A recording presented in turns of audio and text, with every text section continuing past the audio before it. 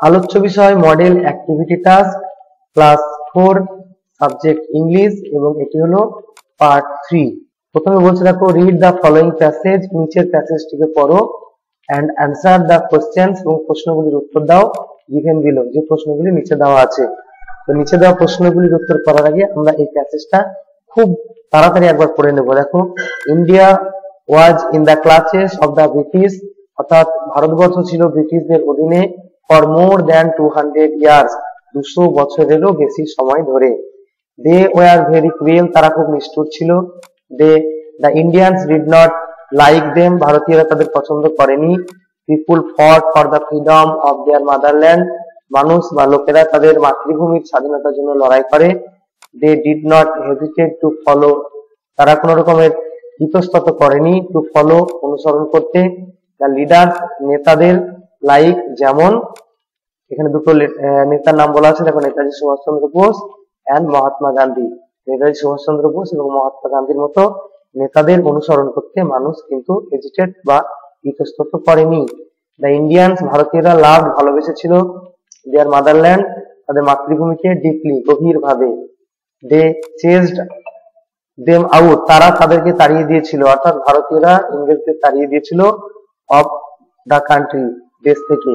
India god freedom Bharat স্বাধীনতা অর্জন করে অন ফিফটিন্থ আগস্ট মানে পনেরোই আগস্ট নাইনটিন ফর্টি সেভেন উনিশশো সাতচল্লিশ সালে। দিস ডে ইজ অবজার্ভ এই দিনটা পালন করা হয় অ্যাজ দ্য ইন্ডিপেন্ডেন্স ডে অর্থাৎ ভারতের স্বাধীনতা দিবস হিসেবে। ইন্ডিপেন্ডেন্স ডে অফ ইন্ডিয়া ভারতের স্বাধীনতা দিবস হিসাবে। তারপর দেখো, উই, ওয়েস্ট, আমরা উত্তোলন করি দ্য ন্যাশনাল ফ্ল্যাগ জাতীয় পতাকা অ্যান্ড সিং এবং গায়ে গিয়ে থাকি আওয়ার ন্যাশনাল অ্যান্থেম আমাদের জাতীয় সংগীত জনা গণা মনা, অর্থাৎ জনগণ মন। অন দ্যাট ডে ওই দিন জনা গণা মনা, অর্থাৎ জনগণ মন ওয়াজ রিটেন লেখা হয়েছিল বা রবীন্দ্রনাথ টেগোর রবীন্দ্রনাথ ঠাকুরের দ্বারা। এবার আমরা প্রশ্ন করব অ্যাক্টিভিটি ওয়ানের এক্ষেত্রে কি করতে বলছে দেখো যে আন্ডারলাইন মানে তলে দাগ দাও দ্য কারেক্ট অ্যান্সার সঠিক উত্তরের ফ্রম দ্য গিভেন অল্টারনেটিভ নিচে যে অল্টারনেটিভ বা বিকল্প দেওয়া রয়েছে সেগুলোর মধ্য থেকে দেখো, একটা করে প্রশ্ন আছে আর চারটে করে অল্টারনেটিভ আছে। প্রথমটা দেখো the British rule over India for অর্থাৎ ভারতীয়রা সরি ব্রিটিশরা ভারতীয়দের শাসন করেছিল মানে ইন্ডিয়াকে রুল করেছিল বা শাসন করেছিল কতদিন? এক্ষেত্রে সঠিক অ্যান্সার হবে ওভার টু হান্ড্রেড ইয়ার্স কারণ এক্ষেত্রে দেখো লেখা আছে যে more than two hundred years অর্থাৎ দুশো বছরেরও বেশি।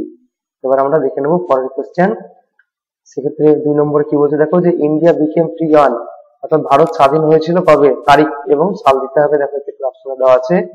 তো সঠিক অপশন হবে option A fifteenth August nineteen forty seven এবার আমরা দেখে নেব নেক্সট কোয়েশ্চেন এক্ষেত্রে বলছে যে national anthem was written by আমাদের জাতীয় সংগীত গাওয়া হয়েছিল কার দ্বারা? উত্তর হবে অপশন সি রবীন্দ্রনাথ টেগোর। এবার আমরা দেখে নেব অ্যাক্টিভিটি টু অ্যাক্টিভিটি টু তে কি করতে হবে দেখো? যে সিলেক্ট দ্য ম্যাসকুলাইন জেন্ডার অর্থাৎ সিলেক্ট করো মানে বেছে নাও। ম্যাসকুলাইন জেন্ডার ফেমিনাইন জেন্ডার তারপরে বলছে neuter gender and common gender এগুলো বেছে নিতে হবে ইন দ্য ফলোইং সেন্টেন্সেস নিচের বাক্যগুলোর মধ্য থেকে। And put them in correct column এবং সেগুলোকে নিচের সঠিক কলামে লিখতে হবে। দেখো নিচে চারটি কলাম আছে। প্রথম আছে ম্যাসকুলাইন জেন্ডার তারপরে ফেমিনাইন জেন্ডার তারপরে নিউটার জেন্ডার আর তারপরে হচ্ছে কমন জেন্ডার তো ম্যাসকুলাইন জেন্ডার মানে পুরুষ লিঙ্গ, অর্থাৎ যারা পুরুষ, তাদের নামগুলো এই ঘরে লিখতে হবে। ফেমিনাইন মানে স্ত্রী, যারা স্ত্রী বা মেয়ে, তাদের নামগুলো এই ঘরে লিখতে হবে। আর নিউটার জেন্ডার মানে যাদের প্রাণ নেই, বস্তু যেগুলো, সেগুলো এই ঘরে লিখতে হবে। আর কমন মানে কিছু কিছু শব্দ আছে, যার দ্বারা আমরা পুরুষকেও বুঝি, আবার নারীকেও বুঝি। যেমন টিচার তারপরে এই ধরনের আরও অনেক শব্দ আছে, আমি পরে বলছি। তার আগে ধরো, এখানে যে সেন্টেন্সগুলো রয়েছে, এরকম প্রথম সেন্টেন্সে রয়েছে যে, Suraiya is my sister Suraiya হলো আমার বোন। এক্ষেত্রে সুরাইয়া একটা মেয়ের নাম। তো দেখো, এটা আমি ফেমিনাইনের ঘরে লিখেছি, সুরাইয়া। তারপর দেখো সিস্টার সিস্টার একটা মেয়ে সেটা ফেমিনাইন জেন্ডারের ঘরে লিখেছি। তো প্রথম সেন্টেন্স থেকে দুটো হয়ে গেল। এবার পরেরটা দেখো, Riju and Sumit are friend Riju এবং সুমিত হলো বন্ধু। তো রিজু এবং সুমিত দুটো ছেলের নাম, এরা পুরুষ, তাই আমরা ম্যাসকুলাইন জেন্ডারের ঘরে লিখব এগুলোকে। আর কি? দেখো ফ্রেন্ডস ফ্রেন্ডস মানে বন্ধু। এই বন্ধু বলতে আমরা পুরুষকেও বুঝি, আবার স্ত্রীকেও বুঝি। পুরুষ বন্ধু হয়, আবার স্ত্রী বন্ধু বা মেয়ে বন্ধু হয়। তো এই ফ্রেন্ডস কথাটা হলো কমন জেন্ডার অর্থাৎ ফ্রেন্ডস বলতে আমরা ছেলে মেয়ে দুটোকেই বুঝিয়ে থাকি। আচ্ছা এবার পরেরটা দেখো। Rocky is a dog Rocky হলো একটা কুকুর। তো ডগ হলো, আমরা জানি যে এটা ম্যাসকুলাইন জেন্ডার কারণ ডগের যেটা ফেমিনাইন সেটা হলো ভিক্সেন তো রকি একটা কুকুরের নাম, এটা একটা পুরুষ কুকুরের নাম রকি, তাই রকি কথাটাও হবে ফেমিনাইন সরি ম্যাসকুলাইন জেন্ডার তাহলে রকিও হলো ম্যাসকুলাইন জেন্ডার এবং ডগ এটাও হলো ম্যাসকুলাইন জেন্ডার এবার পরের সেন্টেন্সটা দেখো there is a clock on the wall অর্থাৎ দেওয়ালে একটা ঘড়ি আছে। তো এই যে ক্লক ক্লক একটা বস্তু, এর কোনো প্রাণ নেই। যদিও ঘড়ি চলে, আমরা দেখতে পাই, কিন্তু সেটা তো প্রাণ নেই, এটা অন্যভাবে চলে। তো ক্লক হলো ফেমিনাইন সরি ক্লকটা হবে তোমার নিউটার জেন্ডার অর্থাৎ বস্তু। এরপরে কি রয়েছে? ওয়াল। ওয়ালটাও ঠিক তাই। ওয়ালের কোনো প্রাণ নেই। এটাও বস্তু। তাহলে এটাও হবে নিউটার জেন্ডার। তাহলে আমাদের হয়ে গেল অ্যাক্টিভিটি টু কমপ্লিট করলাম আমরা। এবার আমরা দেখে নেব অ্যাক্টিভিটি থ্রি এই অ্যাক্টিভিটি থ্রিতে আমাদের কি বলছে? দেখো যে how do you spend your day at home কেমন ভাবে তুমি বাড়িতে তোমার সময় কাটাও বা দিন কাটাও? Write five sentences about it এই সম্পর্কে পাঁচটা বাক্য লেখো। বাড়িতে আমরা কেমন ভাবে দিন কাটাই সকাল থেকে রাত পর্যন্ত, এ তো অনেক সেন্টেন্স হতে পারে। তো প্রশ্ন অনুযায়ী আমি এক্ষেত্রে পাঁচটা সেন্টেন্স লিখেছি। তোমরা তোমাদের মতো করে সেন্টেন্সগুলো তৈরি করে নেবে। আমার এই সেন্টেন্সগুলো তোমরা একটু দেখতে পারো। এগুলো দেখে এরকম ভাবে তোমরা নিজেরা সেন্টেন্স তৈরি করে নেবে। তো প্রথমে দেখো আমি কি লিখেছি? যে I get up at six A M আমি ছটার সময় ঘুম থেকে উঠি অ্যান্ড ব্রাশ মাই টিথ এবং আমার দাঁত ব্রাশ করি। পরে দুই নম্বরে আমি লিখেছি, দেখো যে আই টেক মাই ব্রেকফাস্ট আমি আমার ব্রেকফাস্ট খাই and sit down to study এবং পড়াশোনা করতে বসি।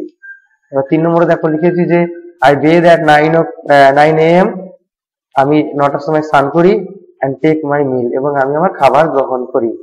তারপরে বলছে, দেখো then I go to school তারপরে আমি স্কুলে যাই অ্যান্ড রিটার্ন ফ্রম দেয়ার এবং সেখান থেকে ফিরে আসি অ্যাট ফোর এ এম চারটে সরি ফোর পি এম চারটের সময়।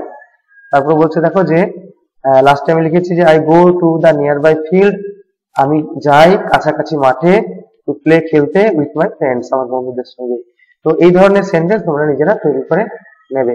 তাহলে এই ছিল এই ক্লাসের আলোচনা। ক্লাসটি দেখে যদি ভালো লাগে লাইক করবে।